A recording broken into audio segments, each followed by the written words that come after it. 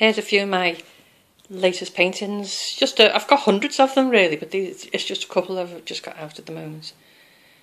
That's a sunflower done in acrylics using gesso to give it a bit of texture, as you can see.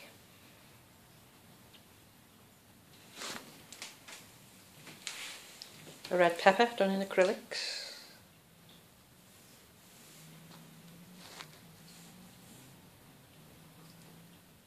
Men playing football on the beach, also acrylics.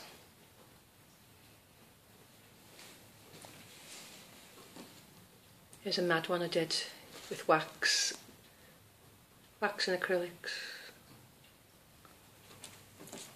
With texture in the hair.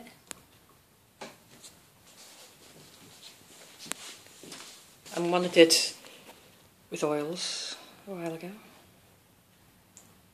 supposed to be impressionistic.